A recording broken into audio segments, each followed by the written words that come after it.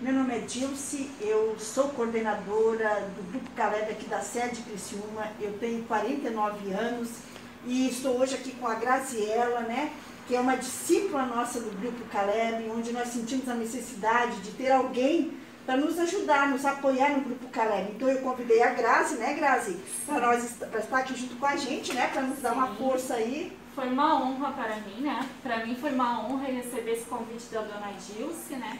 Onde eu pude fazer parte, posso fazer parte desse grupo, né? Onde eu nós viemos para esse grupo achando que nós íamos dar, mas nós estamos recebendo muito mais em troca deles, né? Inclusive, eu faço a vocês um convite muito especial que você pode estar procurando, né? Fazer parte do nosso grupo, né? Você pode alguma coisa você vai se encaixar, porque o grupo Caleb não é somente para terceira idade, mas também para você que está aí, tem algum dom e quer multiplicar os seus dons.